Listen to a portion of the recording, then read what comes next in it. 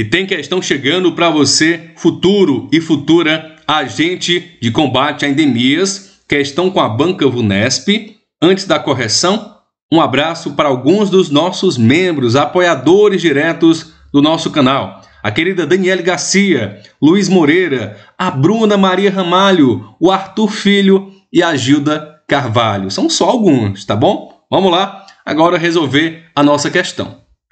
A toxoplasmose é um grave problema de saúde pública, principalmente para gestantes, recém-nascidos e pessoas com defesas imunológicas diminuídas. Trata-se de uma infecção causada por um protozoário encontrado nas fezes de gatos e outros felinos, e a transmissão pode ocorrer. Letra A. Por meio da picada de fêmeas infectadas de pulgas que parasitam os gatos. Informação equivocada. A transmissão da toxoplasmose não ocorre pela picada de pulgas, mas sim pelo contato com o parasita em fezes de gatos ou alimentos contaminados. Risca a letra A. Letra B.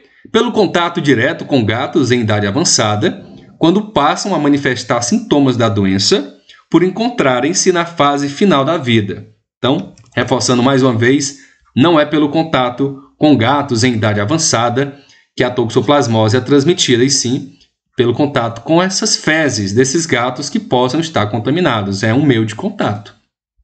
C. Principalmente pela ingestão de água ou alimentos contaminados, mal cozidos, e também de mãe para o filho durante a gestação. Isso aqui está perfeito, é o nosso gabarito. A principal forma de transmissão da toxoplasmose é através da ingestão de água ou alimento contaminado também da mãe para o filho durante o período gestacional. D. Pelo contato direto com pessoas doentes que passam a eliminar a forma infectante do parasita através da respiração três dias antes do início dos sintomas. Né? Não é pelo contato direto tá, com pessoas doentes que a toxoplasmose é transmitida, tá bom? Então, gabarito, mais uma vez reforçando letra C. Até um próximo vídeo. Se não é inscrito, se inscreva. Aquele abraço. Valeu!